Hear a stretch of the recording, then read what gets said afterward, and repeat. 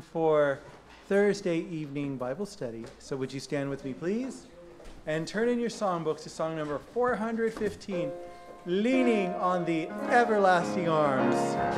Hymn number 415.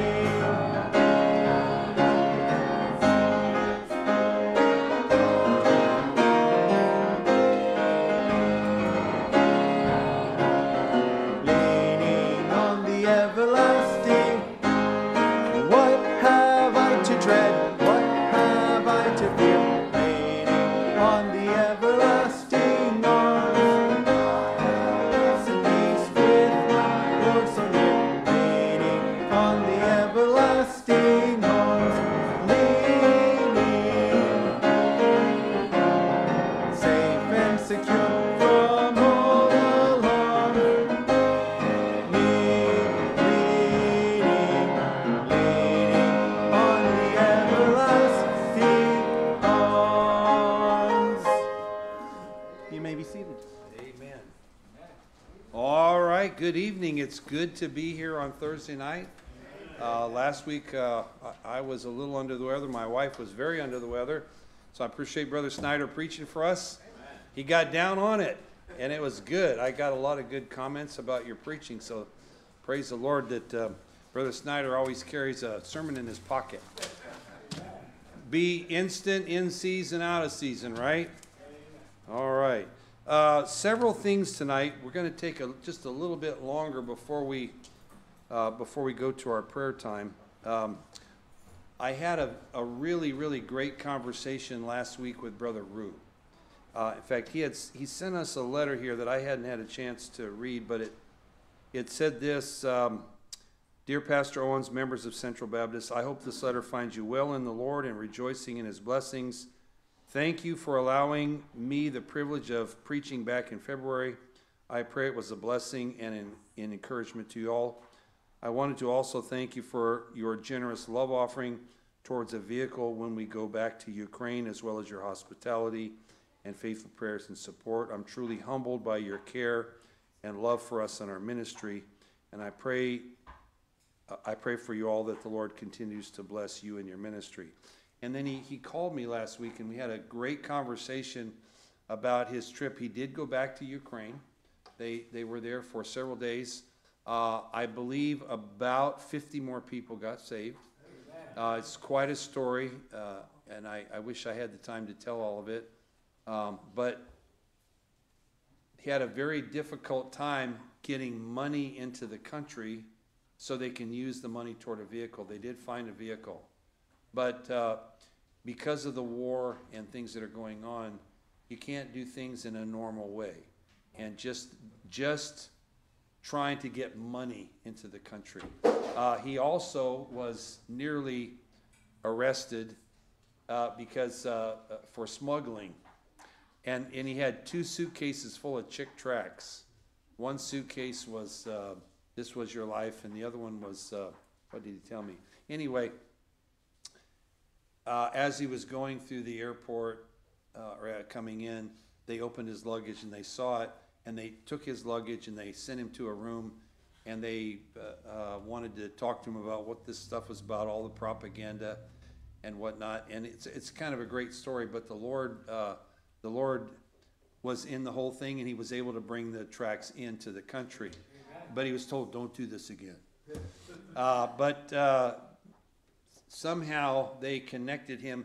he, one of his piece of luggage had a little logo on it, and I can't remember what he told me it was, uh, almost like a military logo, and they thought that he was part of America coming in to help or something, and so he, because they saw that, they turned him over to a military guy, and the military guy was very nice to him, and he says, now, don't, just don't do this again.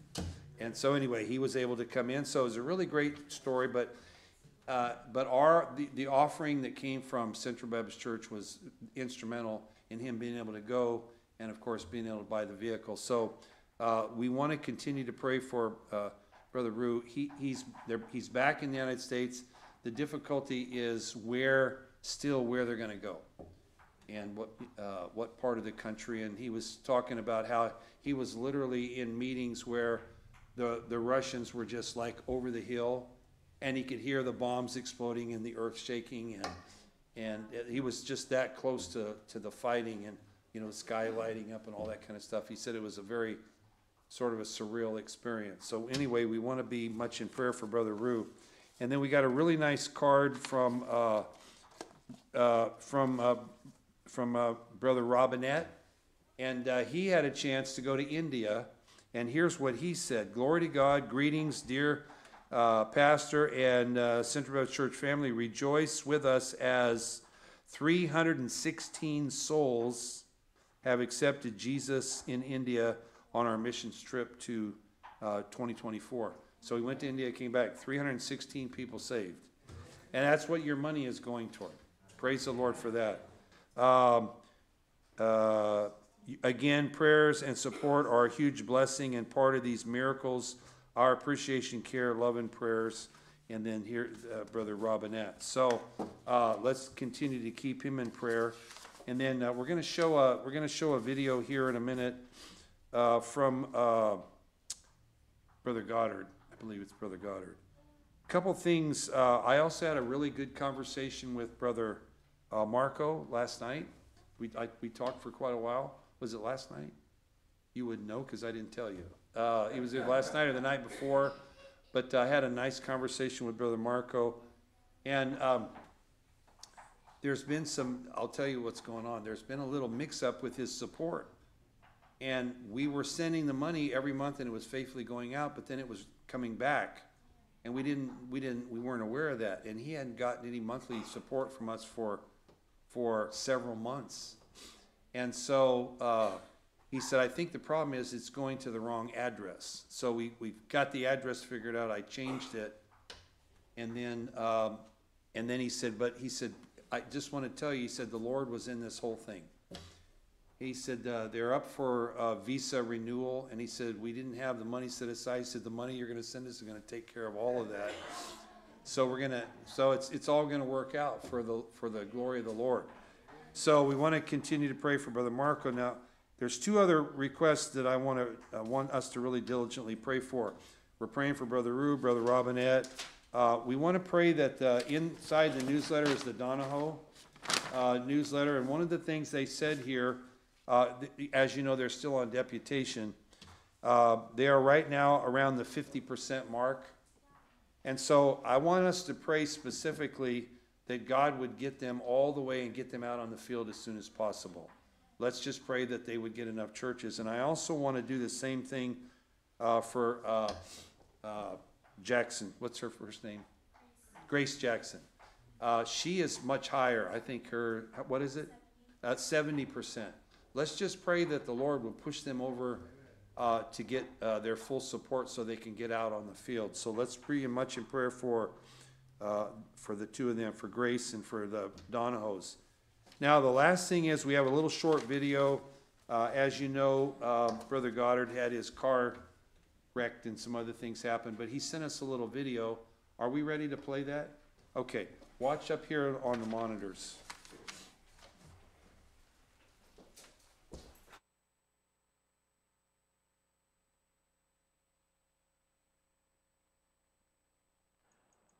Hey, how are you doing? My name is Josiah Goddard, missionary to Trinidad and Tobago, and got some exciting updates for you. We're basically done with deputation on our way to Trinidad, and we're excited. We're planning on moving at the very beginning of June. Got a shipping container we're loading at the beginning of May, and things are coming along. We're excited about getting to our field, and not having to drive all over the country gathering support anymore, and God's been good to us. Want to tell you about a few of the blessings we've had just recently. We've had almost 3,000 Bibles delivered to us from the um, Bible and Literature Missionary um, Foundation out of Shelbyville, Tennessee. They just, at no cost, printed, um, I think, tw- about 2,700 Bibles, sent to, to, us, took care of it all, and they're such a blessing to us, um, getting us those Bibles to bring down with us. And then um, just this week, uh, um, I'm about to go pick up some Chick tracts from Chick, Chick Publications, the comic book tracts. Going to pick up 55,000 of those. And man, I can't believe there's so many blessings we've had. When I first mentioned we're going to start gathering some money and funds for the needs we had coming up, I didn't even put out a list yet. And Central Baptist Church of Sutherlin, Oregon sent us $1,000 almost immediately just to be a help and be a blessing. And thank you so much to them. There's been a lot more that's been done, just blessings that have come in. I know the kids class in my home, Wednesday night kids class in my home church have just told us that they're going to um, help buy some of the things that we need to bring down with us. A bunch of fifth and sixth graders raising money to help a missionary. Isn't it a blessing these kids are given young? And got some things if you would consider um, praying about and possibly giving to help fill one of these needs. I have a whole list of things that we're going to buy to bring down with us since we're bringing the container for the Bibles and the tracts. Um, one of the things the kids are going to help cover some of the costs for these, but I want to bring down some giant soccer balls, kickballs, um, volleyballs, things like that for teen activities, youth programs, stuff like that. And the giant ones, they add a new element of fun. And we could get a normal soccer ball down there, but anything extra or different, it's really hard to get down there. So we're going to bring those down, basically $10 a piece. So two each with three different things, that'd be $60. And the kids, I think, are going to cover at least half of that, maybe a little bit more, depending what they raise this next week or two. Um, they're going to help cover that. I would like to raise about $300 for um, video equipment. That is high quality mics. That's good quality um, a stand and stuff to use for my phone so That way I could get update videos, video, different programs, things going on, and just something that'll help it be a better quality um, that we could put out. And then the other thing along those lines that we're raising money for, and this will be a huge blessing if someone can help cover this need, is we want a portable PA system. Talking pastors down there, they don't have a hard time getting something to work inside of a small auditorium, but their big struggle is getting something good and effective for outdoor services. Because often it's in a random field, you have to worry about power.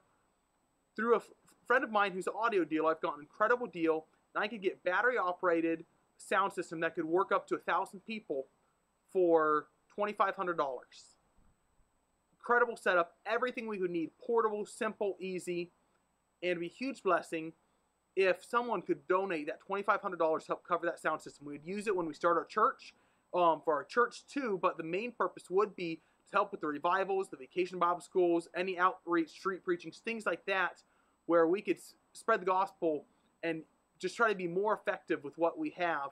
Um, and if we aren't able to raise $2,500, there's another option That'll work good. It's just not as portable. It'll weigh about three times as much, be way bigger, and that's about $1,500. So we're trying to raise somewhere between $1,500 and $2,500 for, for a PA system. And then one of the blessings we have going down is working with a national pastor. I've asked his church what him and um, secretary, what can I bring to help the ministry that we're going to start working with. One of the things they need is a printer, high quality printer that they could print flyers for big days, promotions, stuff like that. They could print material to help train new converts. There's nothing you could buy. Here in America, we got Christian bookstores. You order stuff online. There's nothing like that in Trinidad. So anything they're giving to a new convert of, here's something you need to study, you need to learn, let us trade material to help teach the new Christians, they, they have to print it themselves. So we're looking to bring down a printer because theirs is starting to go out. We're looking to bring down a spiral binding machine and the coils and the materials to help just make it books. Right now they're trying to make doing a makeshift binding with tape and other stuff, and it's not effective, doesn't last long. And getting a spiral bind, binding machine and the coils and a printer would make that part of the ministry so much more effective. Be able to print books, um, help grow new converts, and take people just fr- um, from the I'm saved, I'm going to heaven, now what's next? And help them have the material knowledge and something that they could take home and have on a bookshelf so they have an answer when they have a family member who's not saved who asks them the question. They could have that answer on hand. But the printer we're looking to raise between two and four hundred dollars, The spiral binding machine is about $300, and then about another $300 for all the coils. And that will be for songbooks, for um, doctrine books, for other um, Christian growth material. And then I'm asking if there's a church, um, specifically if there's a church who've recently gotten new songbooks, if you would consider donating 50 to 100 songbooks that we could bring down, mail them to our church so we could, um, to my home church so we could bring them, load them in the container, bring them down with us. And hymn books are very hard. Every church I know of down there that has hymn books has gotten them from a church in the States. We'd love to bring down enough hymn books for our church and maybe another church too. And maybe if you have a bookstore that sells hymn books and you'd like to donate those, that would work. But honestly, we're not we're, we're happy to take the used ones that your church is replacing if there's someone who'd like to donate those. And then some other needs. We have communion trays and the cups, offering plates, all those things easy to get here in America, not not very easy to get in Trinidad. Um, looking at the communion trays for the juice and the bread is about $120 for um, all of that. Communion cups get a thousand pack for $20. Um, offering plates get a um, couple of those for $70. None of those items in there on their own is very expensive and be easy for a Sunday school class, a church. Some hey, let's help cover these needs if you'd consider doing that. Another thing is there's people who could build pulpits down there, but if we have the space, we could bring a pulpit and probably save money rather than having to pay someone to do it down there so we could use a pulpit. And then with us moving, our container costs $5,000 in the US side, probably another $1,500 to clear customs in the port down in Trinidad. That's about 6500 maybe up to 7000 that we need to raise to get everything down there. I know um, we've already had a $1,000 love offering, had a couple pastors tell me they're going to see what they could help with. But if you'd consider helping with getting that container down, the big reason we're bringing the container was it wasn't going to be worth it just for our own stuff. Because we're going to be able to bring down a lot of our own things and just the conveniences of having stuff from America. But the reason we decided to do the container was when I was there in January, almost every church said we're running out of Bibles, we're running out of tracts.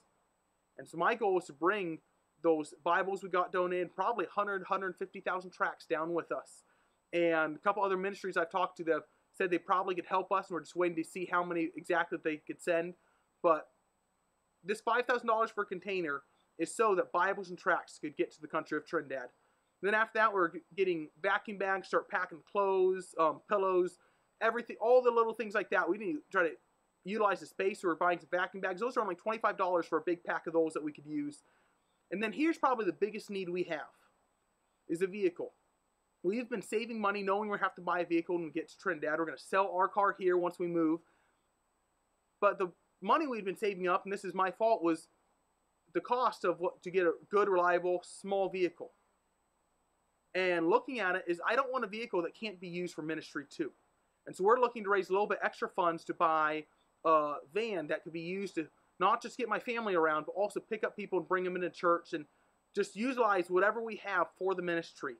And that'll be between fifteen, twenty thousand dollars, maybe a little bit more. And we have some saved up, um, but we need a little bit more if we're going to be able to get that van.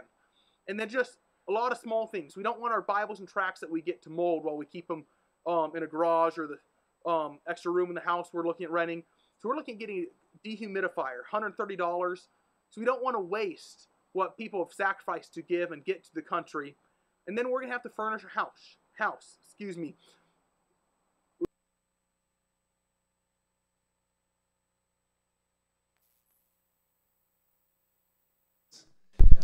But you consider all the missionaries we have, they all need things. And, and that's just one, that's just one missionary. Uh, but the, one of the reasons I wanted you to see that is because if you feel like the Lord has, you know, put a burden on your heart to do something to help, then, uh, we would be happy to send that down there for him. And obviously, we want to help our missionaries. Once we take them on for support, we want to do what we can. But I just want you to see that he's not the only missionary. All the missionaries have needs just like this. And obviously, we can't help everybody with every need, but we can do a little part. So let's, uh, we're stopping right now, but uh, let's also put uh, Brother Goddard uh, on our list or highlight him as well, because, you know, he, praise the Lord, he's got all of his support now, and now he's ready to get on the field. And we want him to get on the field just as quickly as possible. So if the Lord has spoken to your heart, then uh, let, let us know, and we'll, we'll do that as well. we're gonna, uh, what we're gonna do now is we're just gonna, uh, I'm gonna pray. We're not gonna divide up into groups, but, uh, hopefully you have your prayer bulletin and in your prayer bulletin, what you're doing is you're taking, you're keeping track of these things.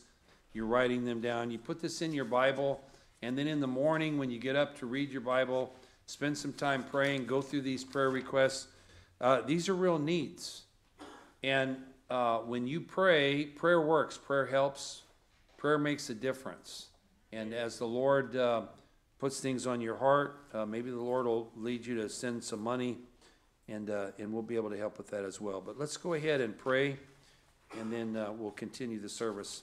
Our Father, we thank you now for Central Baptist Church, and Lord, I thank you for the folks that are here tonight, uh, eager and, and ready to hear from your word. And Lord, we thank you that we have a praying church and a missions minded church. And here are missionaries that have needs. Lord, just one missionary alone, you know, you're, it sounds like he needs forty, fifty thousand dollars. And, and Lord, uh, we don't know exactly what your will is, but Lord, we pray that you might supply the Goddard's needs. Lord, we pray that you might help him to get out on the field and Lord, especially to get those Bibles and those tracts over there. Lord, we pray that as a result of his enthusiasm and his excitement, that there will be many, many people saved as a result of his ministry. And Lord, we, we want to have a part in those people being saved. Lord, we thank you for Brother Rue. We thank you for the trip that he just had and the safety that you gave him. And Lord, how people were saved as a result of his trip. Lord, we thank you for Brother Robinette. And Lord, we thank you for the 316 souls that were saved on his last trip to India. Lord, we pray for Grace uh, Jackson that you'll help her to get the rest of her support so she can get on the field. Uh, Lord, we pray for the Donahoes. We pray that you might help them to get all their support. And, and Lord, then uh, in our in our bulletins tonight, we have uh, other missionaries. Lord, we're praying for uh, also for Brother Wells. And Lord, we thank you for all the things that are that are going on uh, with Brother Wells there in Papua New Guinea. Then, Lord, uh, we have a number of people that uh, need to be saved. Lord, there's a whole list of folks that we're praying for their salvation. There's a whole list of people that have health issues. Lord, we pray that you might have your will and your way in the lives of all these people. And Lord, we pray obviously for these missionaries. And so, Lord, uh, we ask tonight that you might bless the service. We pray that you might answer these requests. Uh, Lord, we just want to thank you for your goodness. And Lord, without you, we can't do anything. Without you, these missionaries could do nothing. Without, without you, these people won't be saved. Lord, uh, these people that have health issues. Uh, Lord, we continue to think about Katie. And Lord, we it was a blessing to see her on Sunday night. Lord, I pray that you might continue to heal her. Uh, Lord, uh, Brother uh, Keith Blair has been visiting our church, and he shared with me the severe back issues that he's been having. And Lord, we pray for him that uh, that he'll get some relief from the problems that he's been having. And Lord, there are just uh, so many requests. Uh, we're praying for JoJo Maxwell. Next week, she's going to be going back to Mayo. And Lord, I know this is a burden on on Brother Scott and his wife, and I pray that you might uh, do a miracle in her life as well. Lord, I know that there are many unspoken requests and uh, requests that uh, just too personal and private to mention. We pray that you might answer those as well. And then, Lord, we just pray that you might be with the remainder of this service tonight. We thank you for what you're going to do, for it's in Jesus' name we pray. Amen. All right. Let's. let's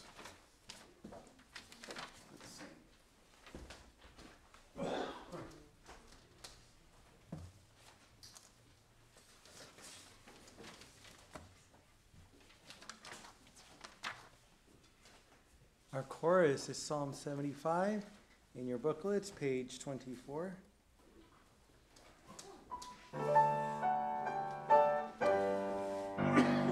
Unto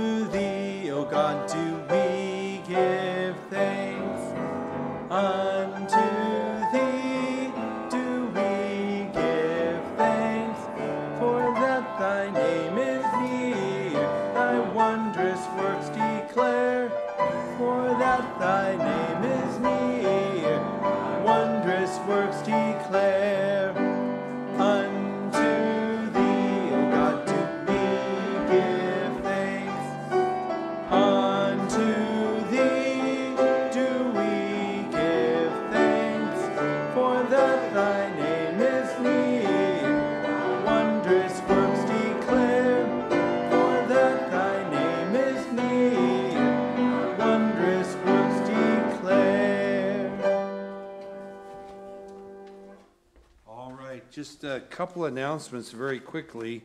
Uh, There's not a lot more left uh, during the month of April. Uh, We are having the College and Career uh, Bible Study coming up on the 26th. And then uh, there is a teen activity, so if you have any questions about those, see Brother Mike or, or um, see Brother Gabriel. But one of the things I want to mention, especially for the ladies, is we're going to do something very special. Uh, there's a ladies' fellowship luncheon now. It's not coming up until May. However, uh, this one's going to be a little different. Instead of having uh, the activity here, we're going to be having it at uh, the Mimi's Cafe. And uh, there's a special menu. The cost is thirty dollars per person. We are gonna be putting out uh, a little, uh, a, a- little insert in the bulletin so that you can sign up for that. But you get to choose what you wanna eat, and then we're gonna have a very special speaker for that. That's the Saturday before Mother's Day. So any of the ladies that are interested in that, if you have any questions, you can see Sandy, but that's coming up May the eleventh, eleven thirty. It's at the Mimi's right here on uh, over in Tustin, and the cost is thirty dollars per person. And then, it's not too early, but we're gonna be doing something a little different this year. Uh, our fifteenth anniversary is coming up at the end of May. Amen. And so, we're gonna be, uh, we're gonna be a fully grown teenager at, uh, age of fifteen. And we've got some special things that we're gonna do this year, and we're gonna be telling you more about that, but we want you to start praying for the fifteenth anniversary Sunday. Uh, the entire month of May is gonna be called Anniversary Month. Amen. And then, um, amen. The week before Anniversary Sunday, we're calling it Anniversary Week. And, uh, you're saying amen, you have no idea what you're about to, you have no idea what you're about to get into, but we're going to be printing up thousands of flyers and we're going to be getting a map and we're going to be meeting every night during anniversary week. Uh, we're going to be having some meals and then we're going to go out. We're going to hand out some flyers and we're going to mark the map and we're going to see how many people we can talk to. And then we'll have a little work day. And then Sunday, uh, uh, May the 25th, we're going to see if we can't just pack this place out and preach the gospel. So we got a lot of work to do to get to that point. So what I would like to have you do is just every day when you pray, pray for anniversary Sunday. It's going to be a it's going to be a highlight this year. We're going to make a big deal out of it. Amen. Let's sing. Shall we do our memory verse? Psalm 86, 6 and 7. I think it's in your prayer bulletins.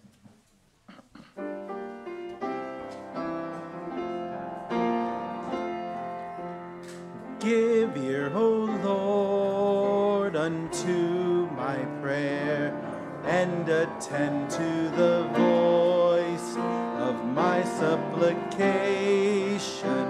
in the day of my trouble.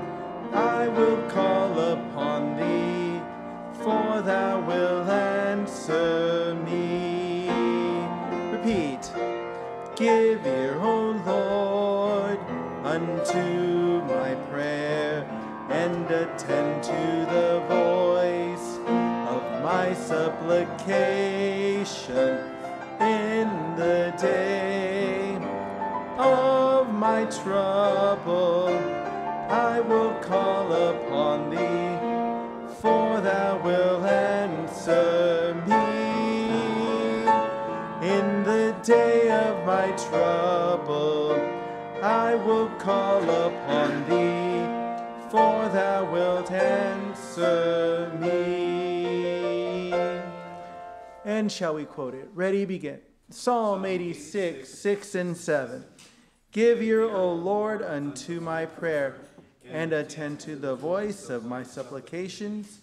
In the day of my trouble, I will call upon thee, for thou wilt answer me. Amen. Stand with me one more time for song number 688. Oh, that will be glory. Song number 688.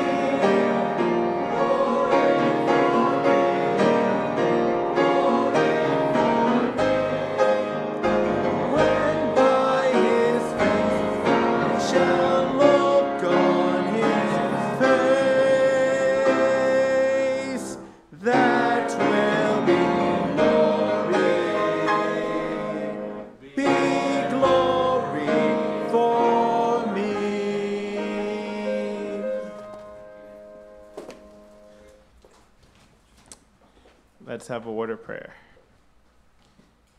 Uh, Heavenly Father, I thank you so much for um, sending your Son in the likeness of sinful flesh and uh, to um, save us, Lord. And um, I thank you that uh, we can come to church. I want to pray for our tithes and offerings tonight as a church, especially as we uh, were um, learning about the different needs for our missionaries, Lord.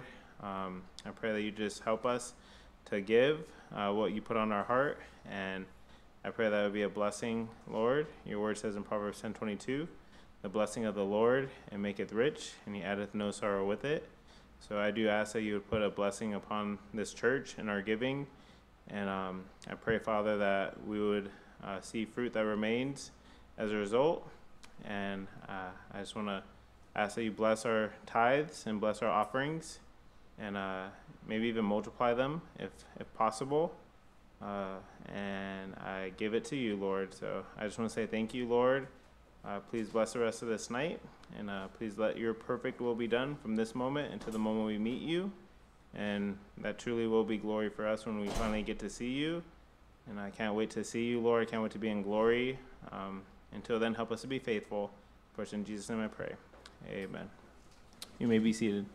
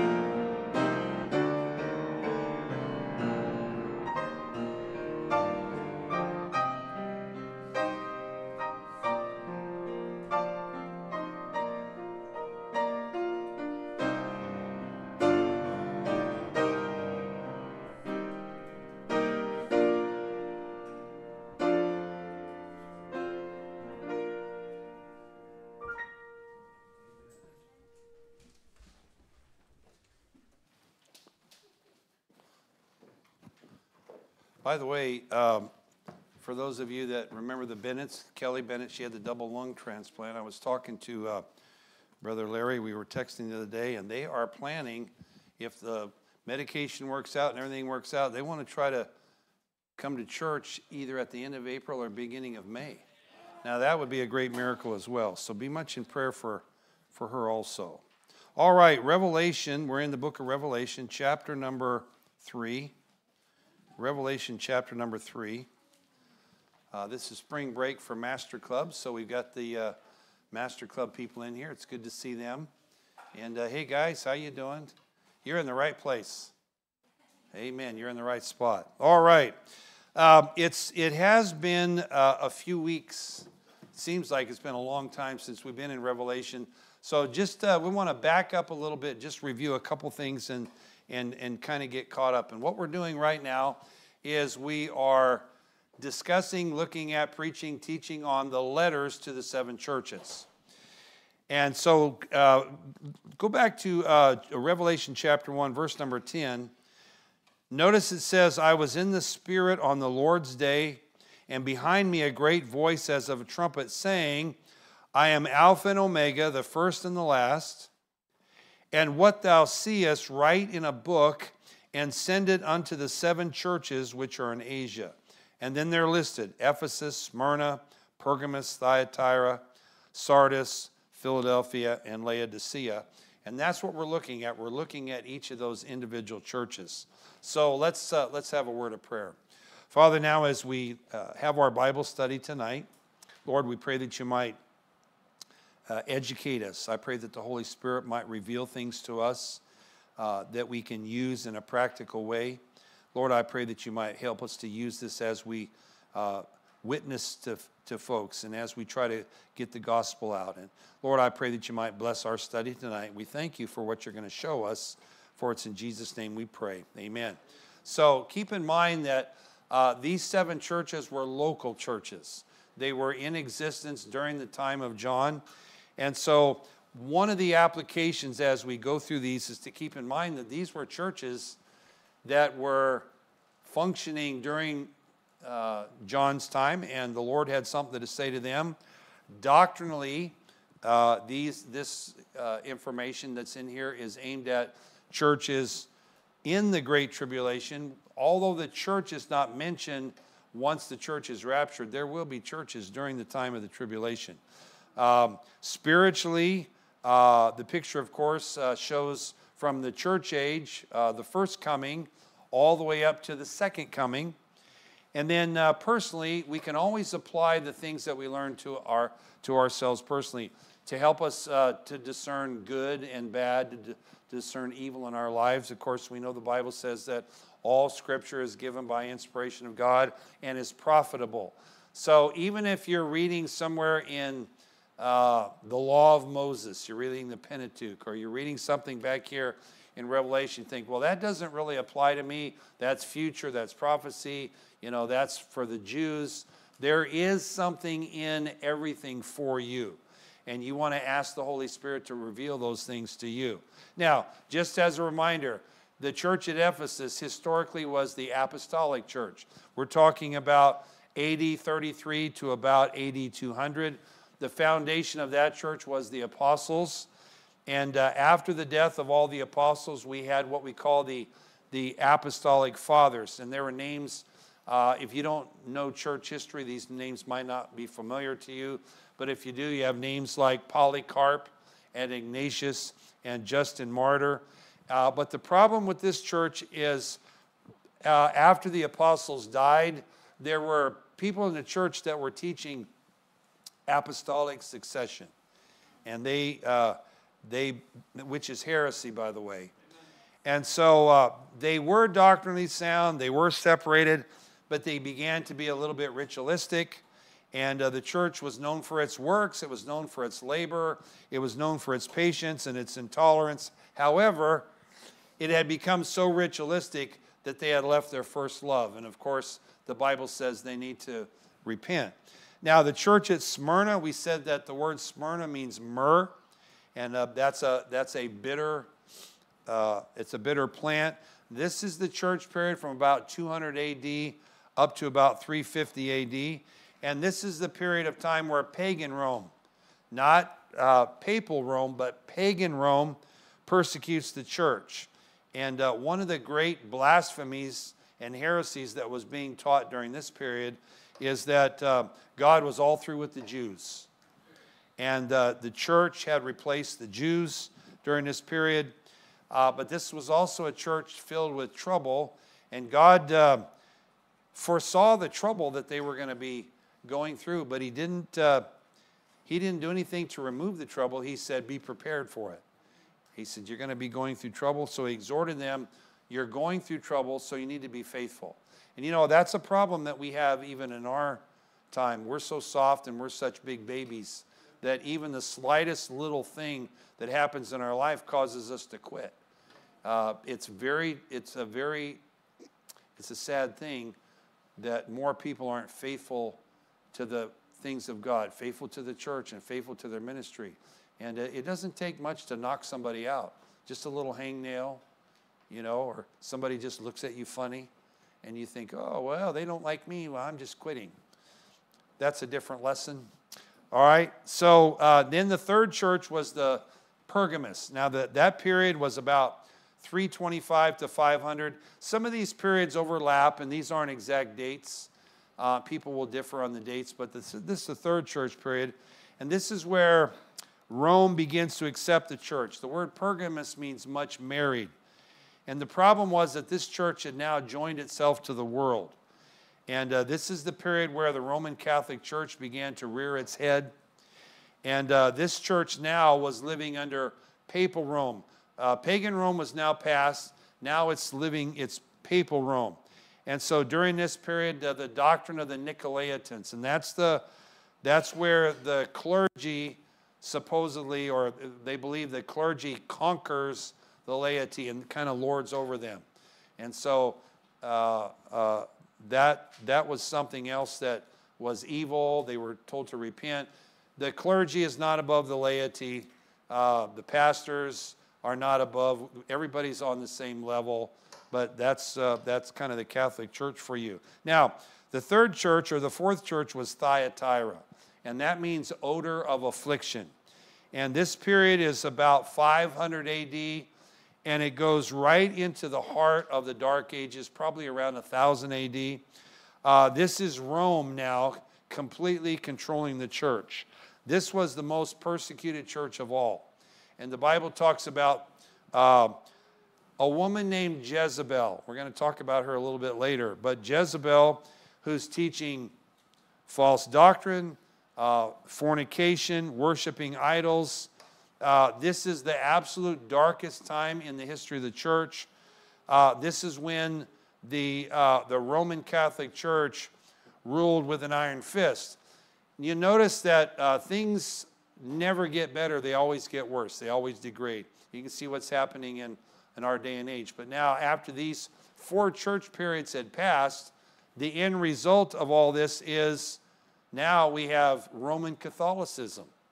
And that's what happens. Now, I want you to go to chapter 3 and verse number 1, and we're going to look at our fifth church, which is the church uh, Sardis. Notice it says in verse 1 And unto the angel of the church in Sardis write, These things saith he that hath the seven spirits of God and the seven stars. I know thy works that thou hast a name, that thou livest and art dead. Uh, and by the way, if, I don't know if everybody got your notes that we inserted. Okay, you have that? Okay. Very good. You did good. Now you have to have a pen to write the answers with. There you go. All right, look at everybody's doing their homework. Nobody gets to stay for detention. You did good. You brought your textbook? Okay, you got your notes, you got your pen. All right, what more can I ask? All right, so Sardis means red ones. Sardis means red ones. Now, these saints are not called red ones for nothing.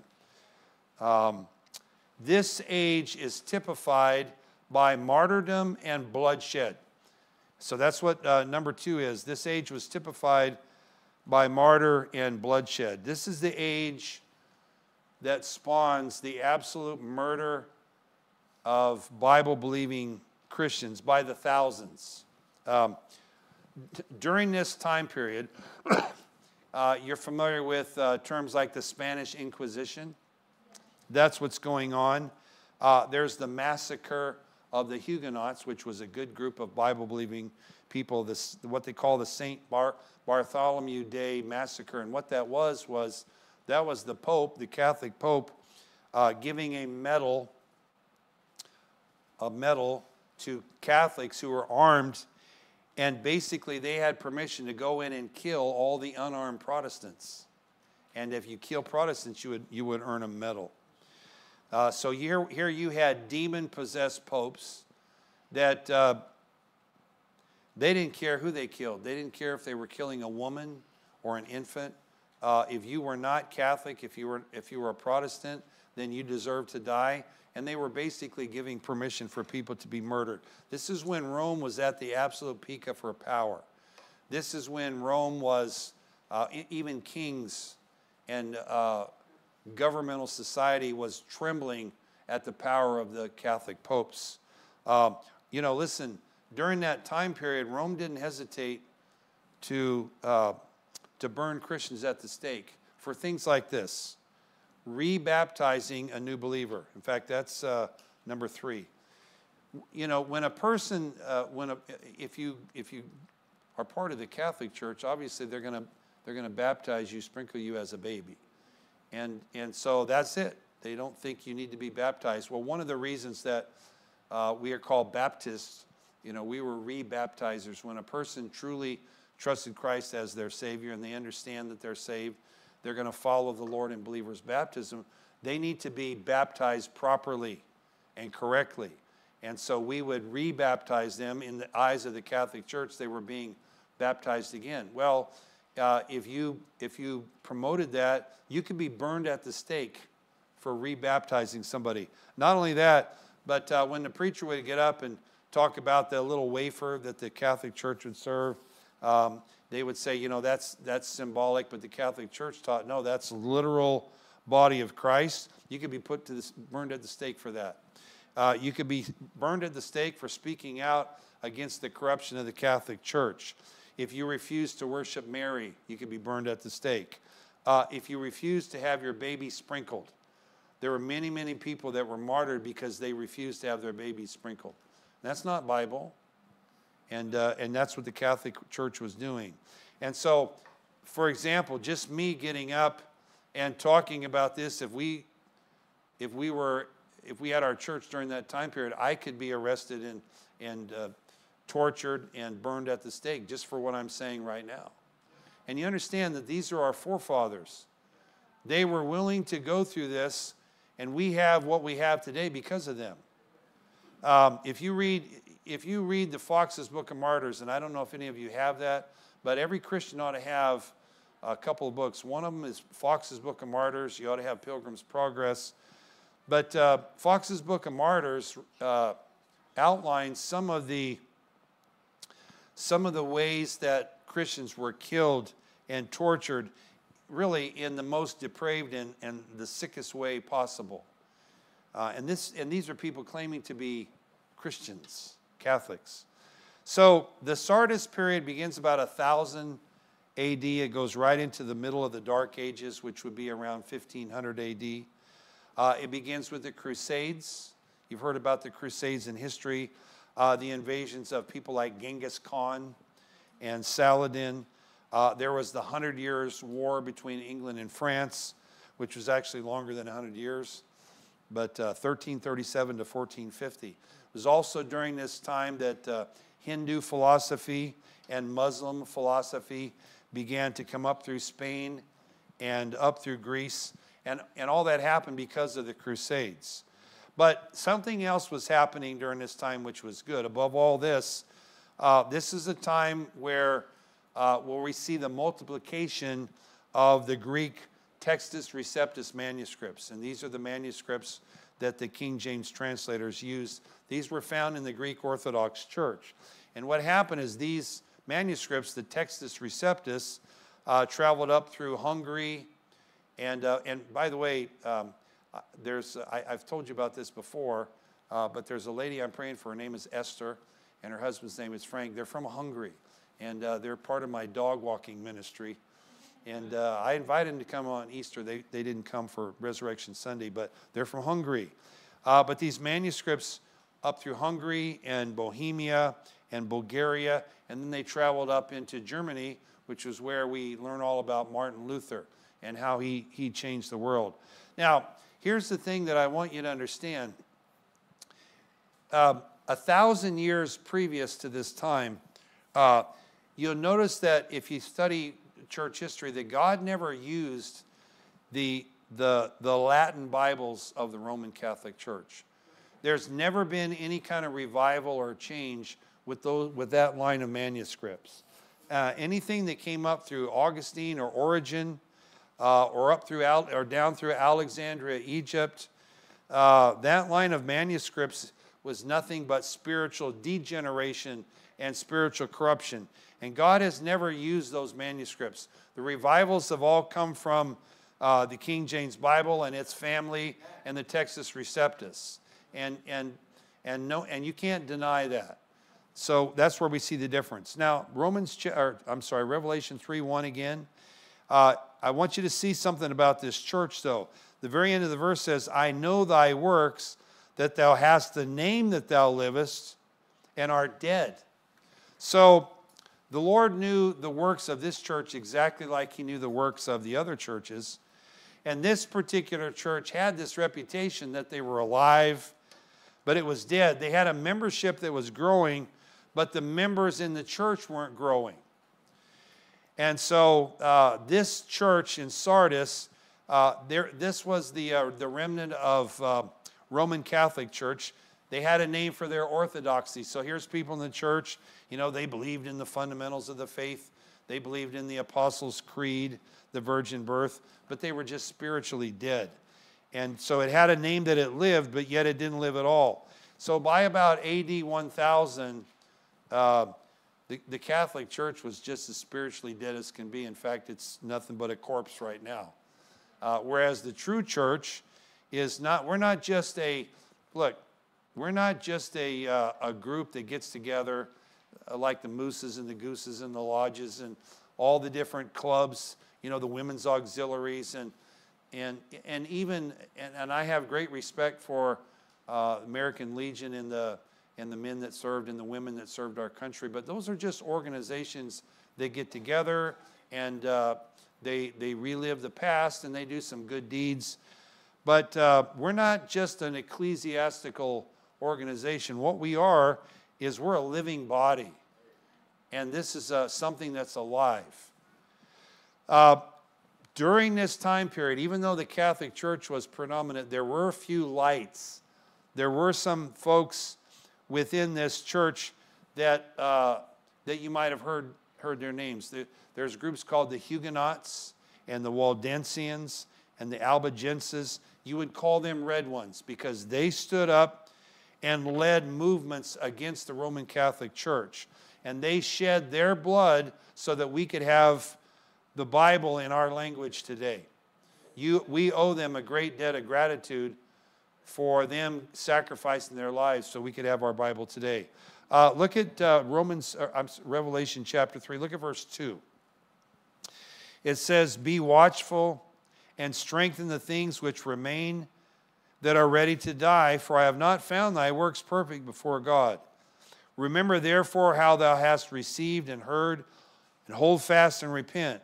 If therefore thou shalt not watch, I will come upon thee as a thief, and thou shalt know not, thou shalt not know what hour I will come upon thee. Now, these verses uh, doctrinally uh, uh, are for the tribulation. We can make an application to the church age. But this passage right here actually goes with uh, a passage that we're going to get to in Revelation chapter 16 uh, that talks about the coming as a thief in the night. It's also Matthew 24 and 25. When we get to Revelation chapter 16, we're going to cover that a little bit more. But uh, notice in verse number 4 Thou hast a few names, even in Sardis, which have not defiled their garments, and they shall walk with me in white, for they are worthy. Notice that phrase, walk with me in white. Uh, the Bible in Revelation talks a lot about these white robes, and you might have heard that.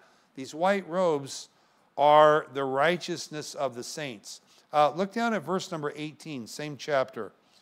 Notice it says here, I counsel thee to buy of me gold tried in the fire, that thou mayest be rich, and white raiment, that thou mayest be clothed. Uh, go to chapter 16. Go to Revelation 16. Look down here at verse number 15. He says, Behold, I come as a thief. Blessed is he that watcheth and keepeth his garments, lest he walk naked and they see his shame. Now, what I want you to understand is that these garments are, are what we call earned works. Uh, we, uh, we uh, uh we have white robes that are washed in the blood of the Lamb. But these garments here are the righteousness of the saints themselves. Now, watch this. Go to Revelation chapter 19 and go down to verse number uh, 8. Revelation 19 8. And he said unto me, Right, blessed are they which are called unto the marriage supper of the Lamb.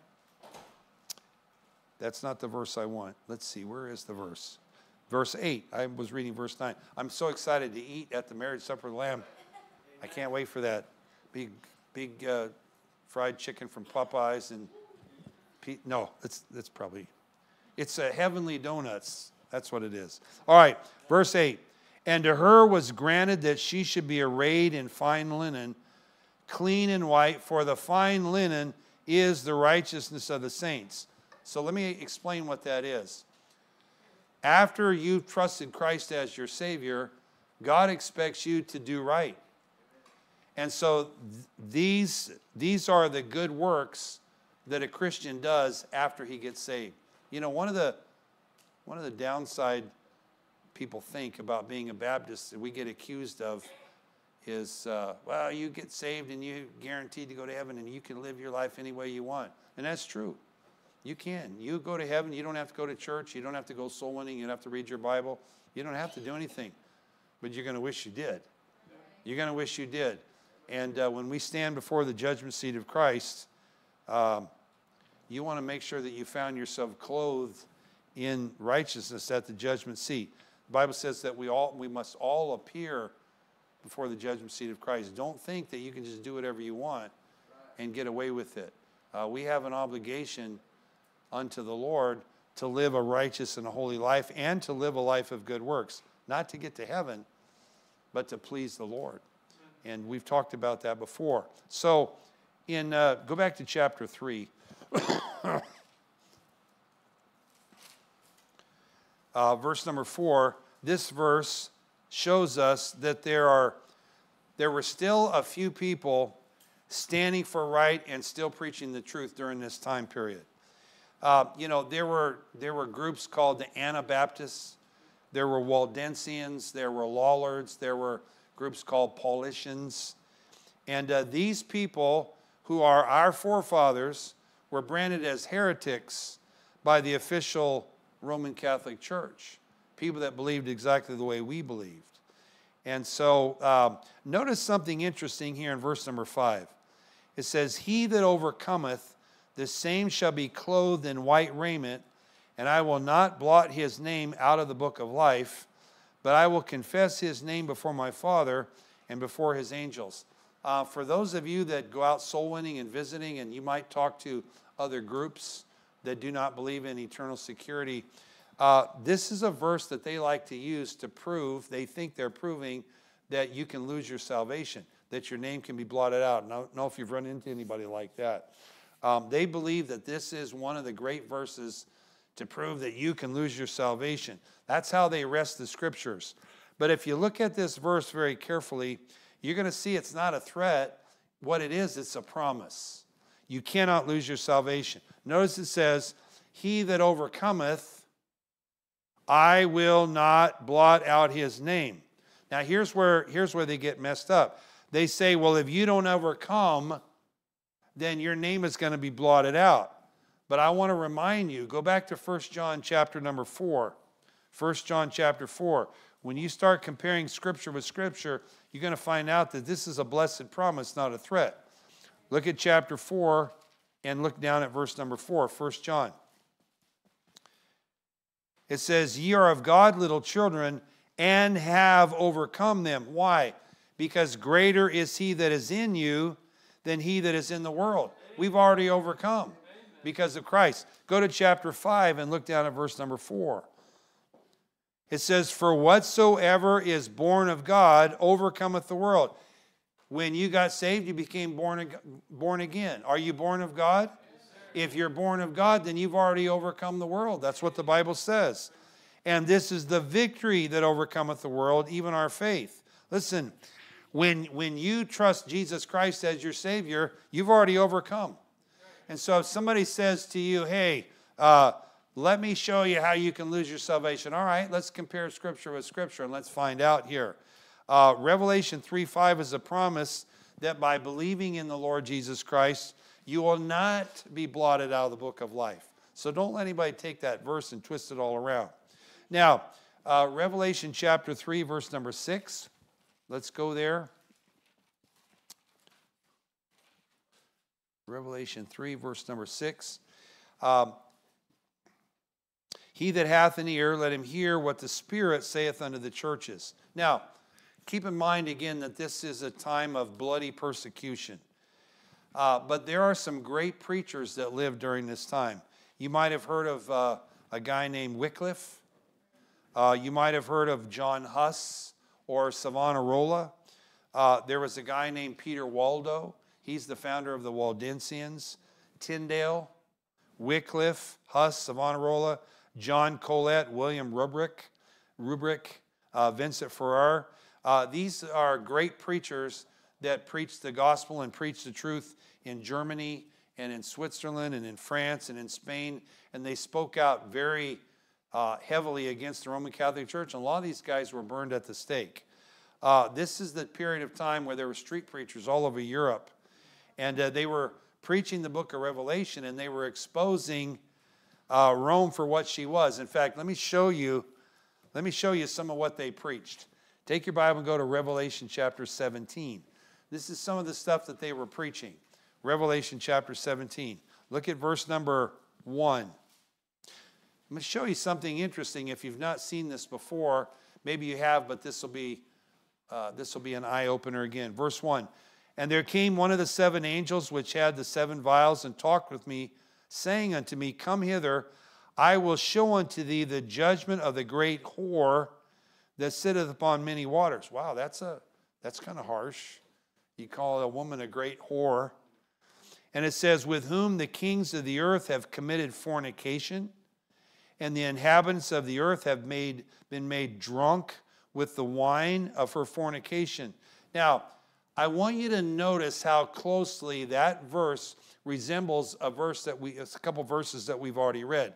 Hold your place in Revelation 17 and go back again to Revelation chapter 2.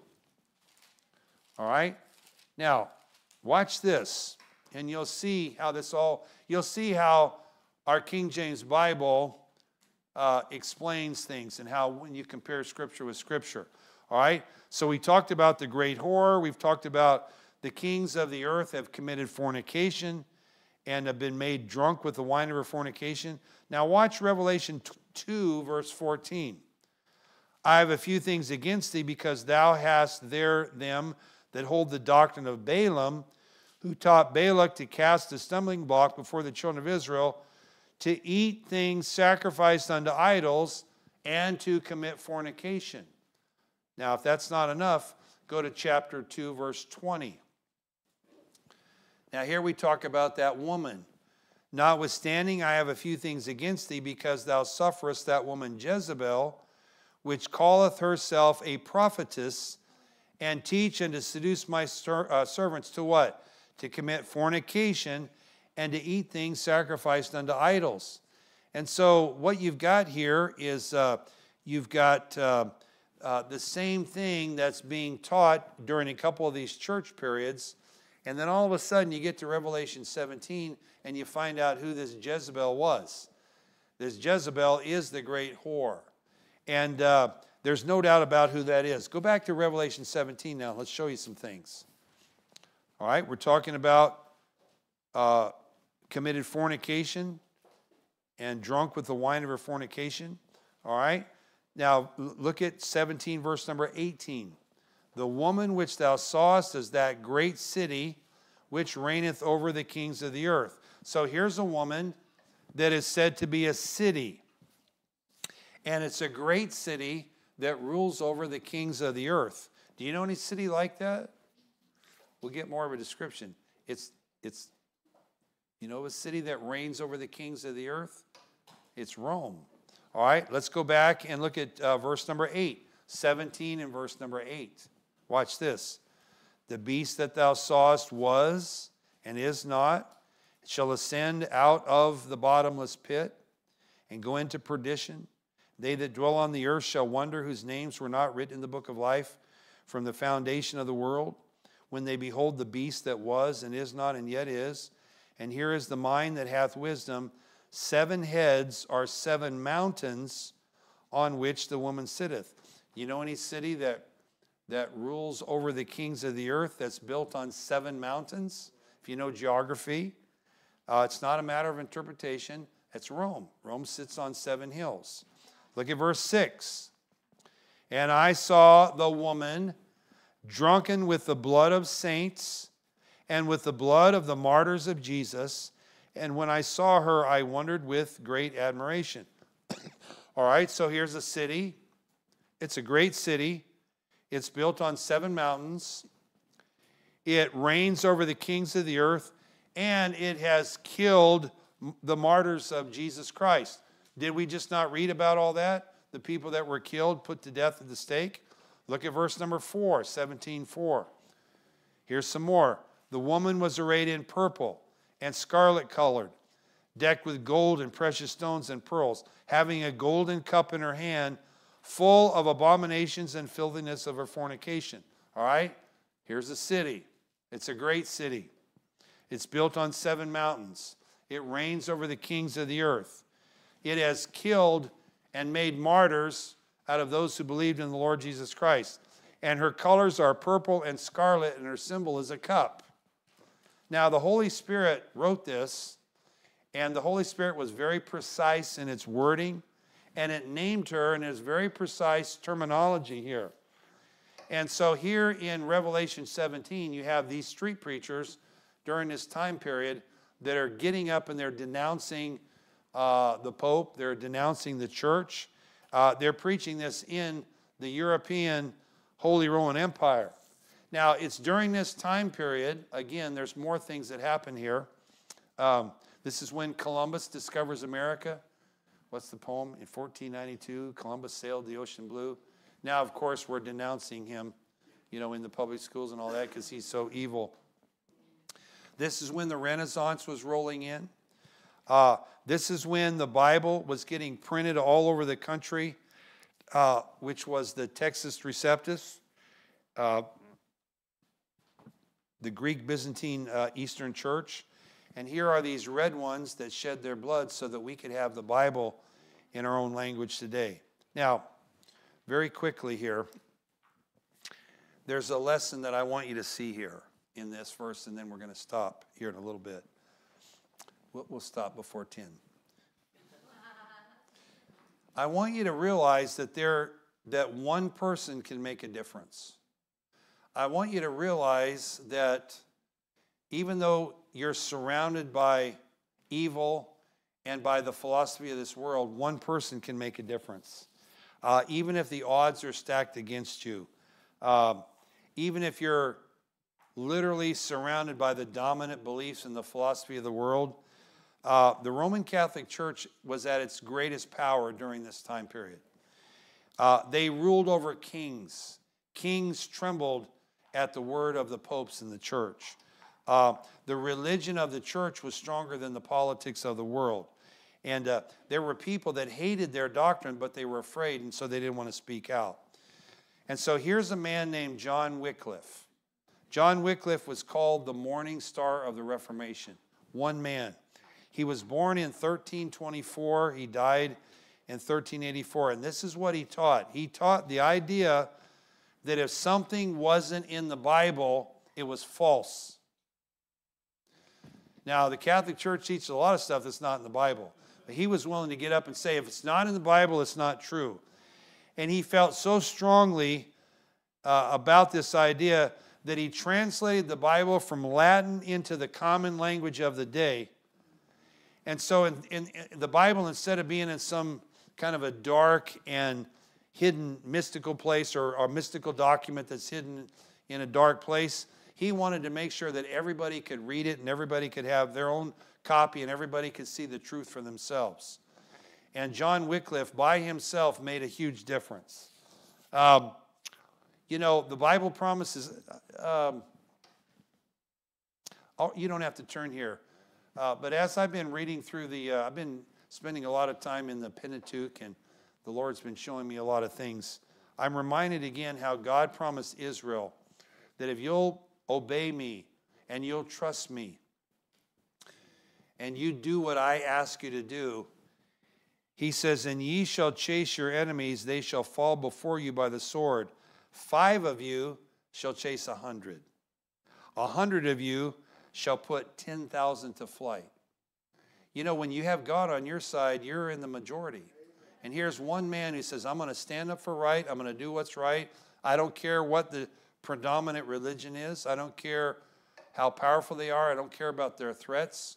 Uh, we're gonna we're gonna we're gonna make a difference. So listen, devotionally, you and God are a are a majority, and so that's kind of the lesson that I want to see. There's a lot of other things, and there's a lot of other people we could talk about. Martin Luther, and some of the things that he did, but. Uh, just keep in mind that it doesn't matter what your family and what the boss and what the neighbors believe and all the things that you're seeing on the television and in social media.